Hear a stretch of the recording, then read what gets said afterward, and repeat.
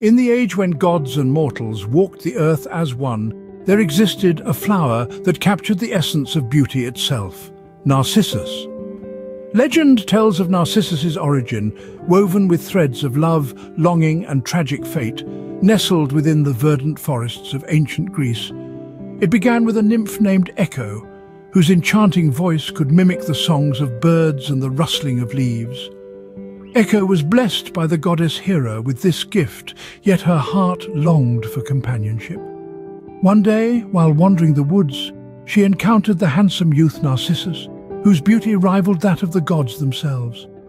Echo, captivated by Narcissus's allure, trailed him through the forest, yearning to express her love.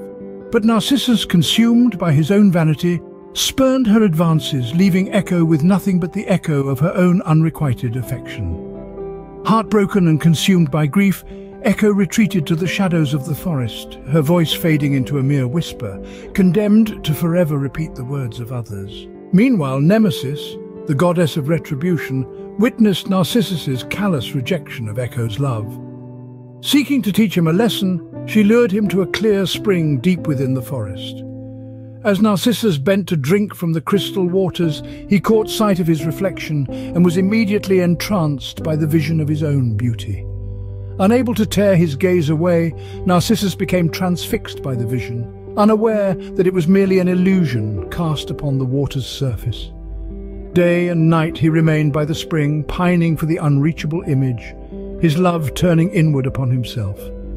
In his despair, Narcissus wasted away, his once vibrant youth fading like the fleeting shadows of dusk. And as he breathed his last breath, a flower blossomed by the water's edge, its petals bearing the likeness of Narcissus's beauty, forever immortalized in the bloom that bore his name. Thus the tale of Narcissus serves as a cautionary reminder of the dangers of vanity and self-absorption and the tragic consequences that can arise from unbridled desire. Let us heed the lessons of Narcissus's folly, lest we too become ensnared by the illusions of our own reflection. The story of Narcissus carries a profound lesson that resonates deeply in our daily lives. It serves as a poignant reminder of the perils of excessive vanity and self-absorption, and the detrimental effects they can have on our relationships and well-being. In a world where social media often amplifies the focus on appearance and self-image, it's easy to fall prey to the allure of seeking validation from external sources, much like Narcissus did with his own reflection. However, the story warns us of the emptiness and isolation that can accompany such pursuits, as they often lead us away from genuine connections and deeper fulfillment. Moreover, the tale underscores the importance of empathy and kindness in our interactions with others. Echo's unrequited love and Narcissus's callous rejection serve as reminders of the impact our words and actions can have on those around us. It prompts us to reflect on how we treat others, encouraging us to cultivate compassion and understanding in our relationships.